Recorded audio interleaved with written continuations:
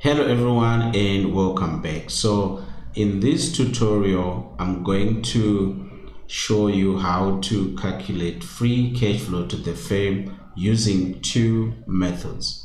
So our case study in this tutorial is reliance retail limited one of um, the retail giants in india with a focus in uh, groceries apparel electronics etc. So without wasting time, let's dive right into it. So here we are going to utilize the income statement and the cash flow statement to calculate the free cash flow to the firm. And the free cash flow to the firm, these are cash flows that are available to both equity holders and providers of capital. In other words, the free cash flow to the firm is a pre-debt cash flow. We haven't um, made any debt payments yet. And obviously, we use the free cash flow to the firm to find the entire value of the company. So let me quickly show you how to compute the historical free cash flow to the firm.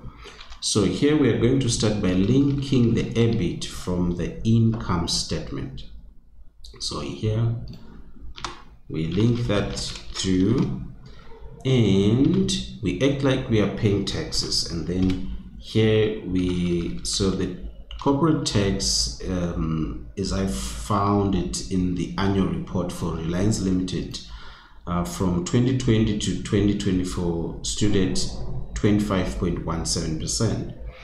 Um, and then I multiply that I go back to free cash flow to the firm and multiply by the EBIT, right? And I link through depreciation from the cash flow statement. So depreciation from the cash flow statement and changes um, in working capital items from the cash flow statement as well. In capital expenditure from the cash flow statement under investing activities. And we have got here and then we copy that right through. Now that we are done copying everything here uh, linking through everything here we just do we just sum up everything. So here we copy that right through. So uh, this is these are the figures for the free cash flow from 2020 to 2024 right and um, here we are now going to um, actually use uh, go with the flow of the formulas as we know them right? So first of all we need to hard code so we need to hard code these figures here.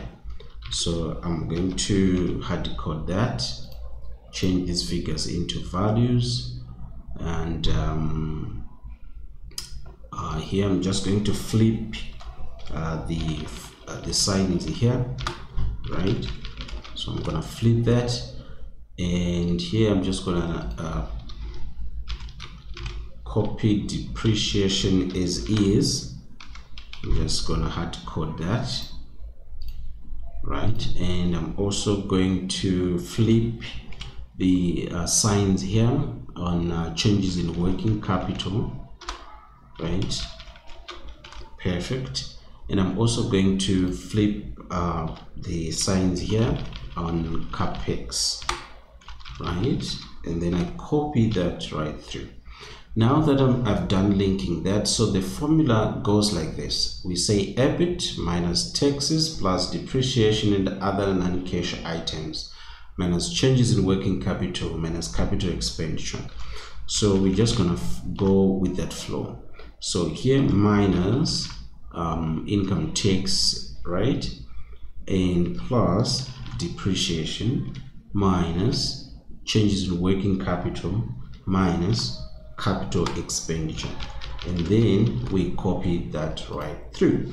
So as you can see uh, the free cash flow that we got uh, using uh, the flow of the financial statement is the same um, that we got when we use the flow of the actual formula right so uh, this is it guys this is how you can compute free cash flow to the firm.